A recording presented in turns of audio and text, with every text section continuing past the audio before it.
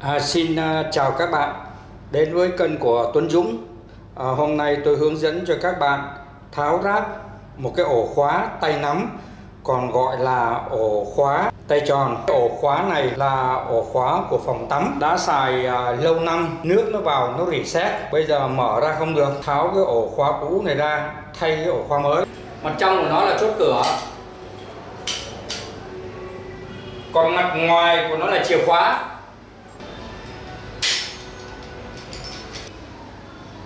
Dùng vít nhỏ, nhấn vào cái chốt giữ nguyên và tháo tay cầm ra. Sau đó, tháo nắp trục khóa.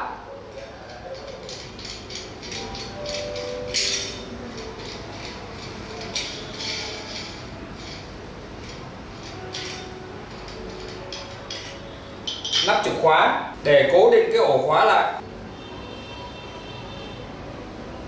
Cò khóa còn gọi là bát khóa khi mà gắn xong thì ta bắt hai con ốc. Thường thì nó hay hư cái cò khóa này. Chú ý, khi mà lắp vào, cò khóa phải vào khớp của cái ổ khóa, cái rãnh cái khuyết và vào khớp của cái ổ khóa này. Phía này gọi là mặt ngoài của chìa khóa. Rồi cái nắp vặn tiến hành để ráp ổ khóa. Đây là con ốc để bắt bát khóa. Thay vì không dùng cái này, tôi dùng cái đinh hoặc là cái tô vít nhọn để ấn vào. Bây giờ cái trường hợp này ở bên trong mở ra thì được. Ở ngoài mở ra để vào không được. Phải sử dụng cái chìa khóa. Chìa khóa vào mới mở ra được. Còn không có chìa mở không được, nó bị nghẹt, cho nên phải thay cái ổ khóa này. Thường thì ổ khóa của cửa trong phòng tắm thì hay bị kẹt và bị hư bởi vì nước nó vào nó làm cho rỉ sét lâu ngày nó bị kẹt. Nếu mà kêu thợ thì rất là phức tạp. Để kêu thợ thì chờ mãi thợ mới đến. Khi mà thay xong à, họ lấy của tôi hết đi à, 100 ngàn, cách đây 3 năm. Vì vậy về. Cái khóa này như thế nào để tháo ráp cho nó mau lẹ. Như tôi nói, cái video trước tên à, trong này nó có cái ngàm sau đó ta ấn vào dùng cái tua vít thì cái tay cầm cầm này nó sẽ bật ra và ta lấy ra cho nó thật là dễ dàng. Xét từ bên trong, bên ngoài. Và tiếp tiếp là ta vặn cái nắp ngoài này. trường hợp này phải đục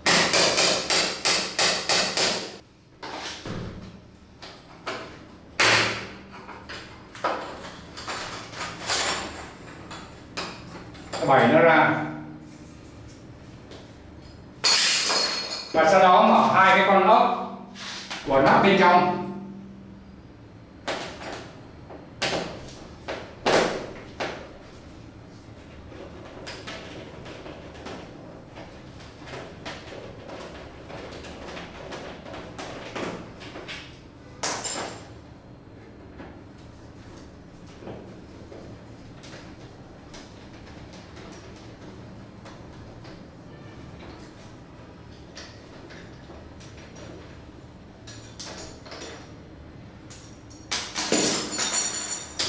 Ở đây nó là cuối cùng ta tháo vít của bát khóa.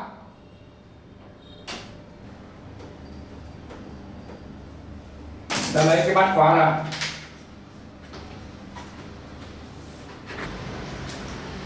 Thì bây giờ ta gắn phần thân khóa vào lỗ cửa. Chú ý, chìa khóa phải ở bên ngoài.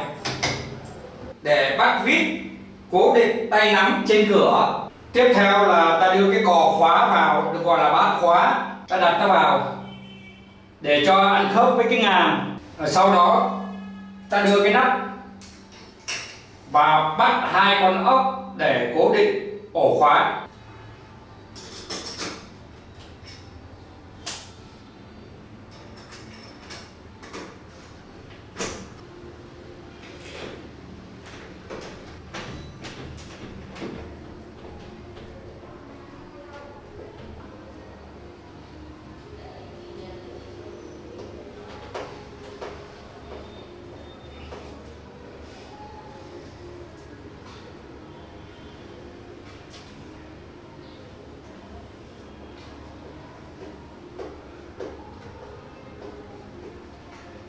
Sau đó vặn cái mặt ngoài của khóa vào.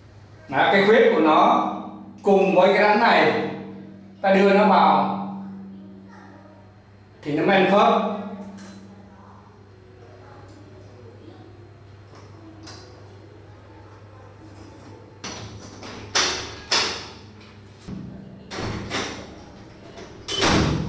Là ok rồi. Người ta chốt nè. À, ra không được có chìa khóa.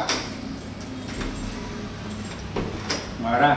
Nếu bị gắt cái chỗ này, ta gập nó vào, gập nó vào bên trong tường. Ta gập nó vào để cho nó trơn. Này gập nó vào. Đó. ta bẻ nó vào. Lấy cái kìm. Bẻ nó vào.